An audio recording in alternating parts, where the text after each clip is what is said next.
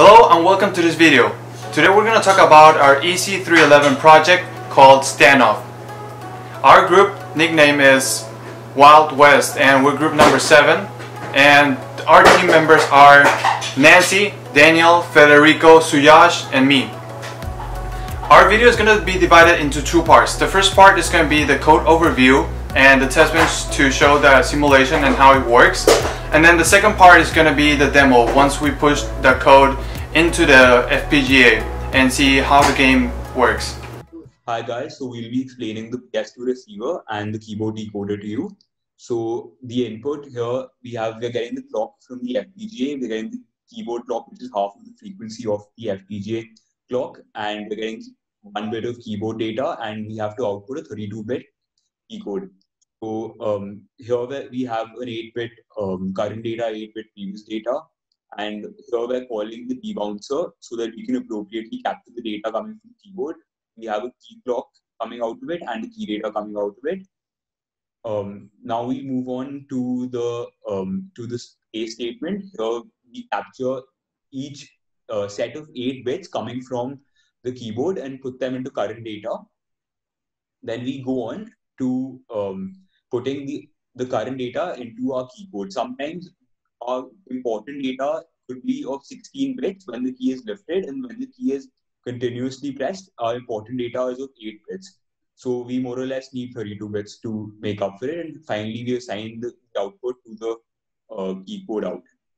Now, Guillermo will explain the keyboard decoder to you. So for the keyboard decoder, it's going to take a 32-bit input and then it's going to cut off into a wire to get just the first eight bits.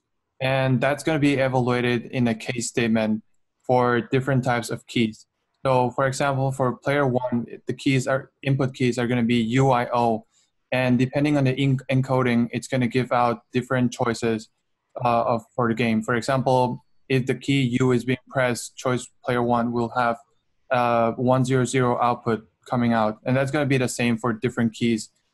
And we also included uh, three extra options just in case we might need it. And that's basically the keyboard decoder. All right, so this is our live count module, which takes in two inputs and outputs the number of lives, um, takes in shot and round time, and uh, each player starts with three lives, so we initialize num lives to three. So we have an always block, and at the positive edge of round time, if shot is equal to zero, which means that the player did not lose a life, the number of lives equals the number of lives. Else, if shot equals to one, which means the player's lost a life, num lives will be de decreased by one. And then over here we have our bullet module, which takes in two inputs, the clocks, and three bits for the player's action and outputs the number of lives, I mean the number of bullets. Um, we also have a register, uh, uh, two bits for the state, which is initialized to state one since the player uh, begins at state one. And then in this always block, we have a case statement. So uh, the is for the action. So 001 uh, means duck. So at any state, if, if you duck, your state will equal to state since you return back to the current state. 01 is reload. So if you're at state three and you reload, uh, the max bullet count is three. So you'll return back to its uh, to, to state three um, basically and then else, if you're anywhere else, you will increase, you'll go to the next state. And then 100 means to shoot. So if you're at state zero, um, you have no bullets left to shoot. So stable equals to state. And then else, if you're any other state, if you shoot, you will go back, you will decrease in state. So you'll go back. And then at the end, we just assign the number of bullets to the state since the output equals the number of bullets.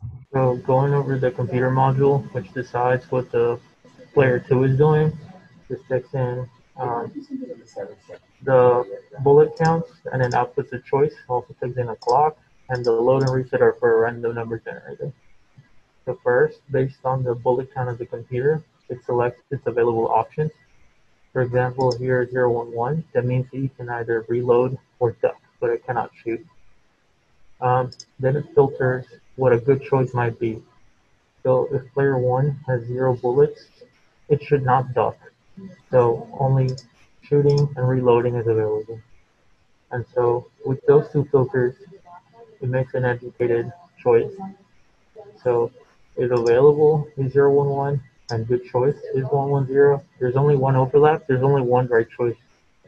And uh, likewise for this choice. But then in cases where there are multiple good choices available, then it'll randomly select one of them based on the number outputted by the random number generator. And uh, you can see the case statements here.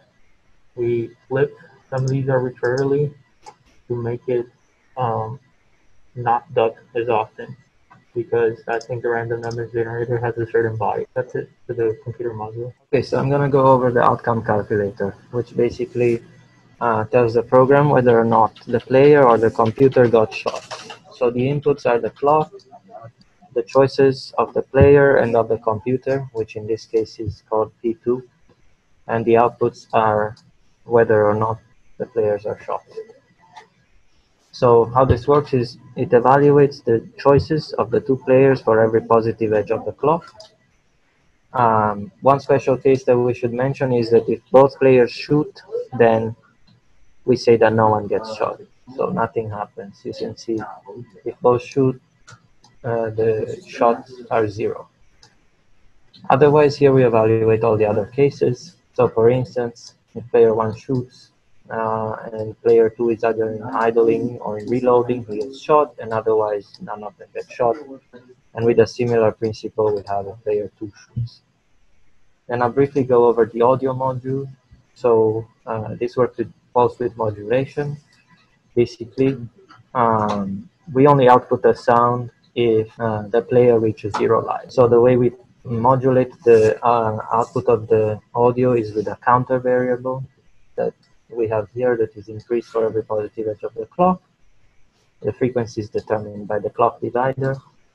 And as you can see here, the output of the speaker is turned on only if the lights of the player are zero. Okay, so this is the test bench for a top module that does not include the keyboard because we weren't able to write a test bench with that in. But anyway, this is the player choice that they input this is the bullet count. This valid, this V choice, is because we make sure that the choice is valid, meaning that they cannot shoot if they have no bullets and they cannot reload if they have max bullets. And likewise for player two. Now, player two, here we show the variables I was talking about in that module, what's available and what, what would be a good choice, and then the actual choice it makes. Um, and these variables, the P1 shot and P2 shot, is comes out of the outcome calculator based on their decision. Okay, so I'll briefly go over the simulation to check that the code is behaving correctly. So um, basically, we update the variables for um, the computer selection every runtime, uh, the pos edge of the runtime. So we'll be discussing how this works for every pos edge of the runtime. So let's see for this one, for instance. Um, the valid choice of player one is to shoot, and the valid choice of player two is to duck. So the outcome should be that no one gets shot, and that's correct. Um, and then also um, the bullet count. So as you can see, one shot, so his bullet count went from one to zero. P2 didn't shoot, so the bullet count didn't change. So quickly to the next pos edge. Uh, player one's V choice is to duck. Player's two V choice previously was to reload. So player two reloaded, so his bullet count went from one to two.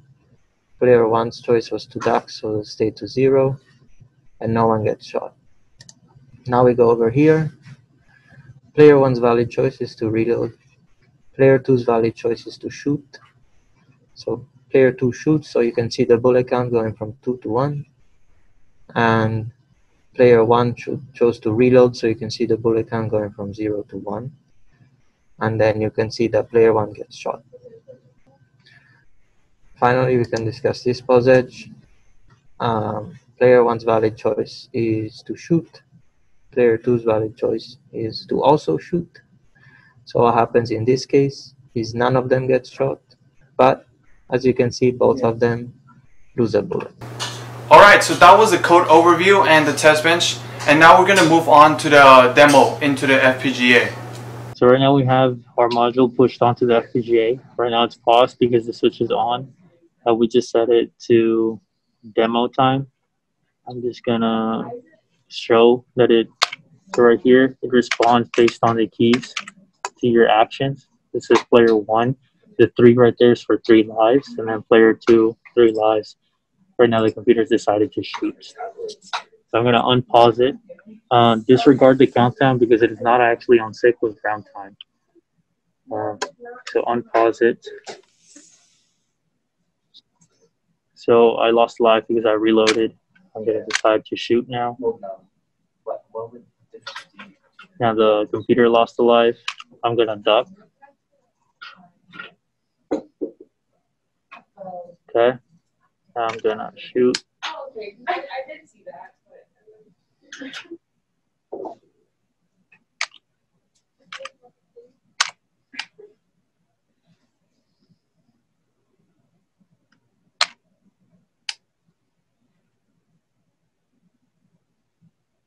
So I beat the computer because the life went to zero. And I just heard the sound because life count went to zero.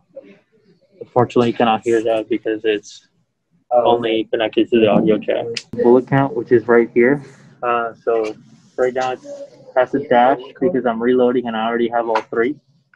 So I'm gonna go ahead and shoot. And so my life count, my bullet count went down. The computer's decided to reload while I still shoot. So mine went down, his went up.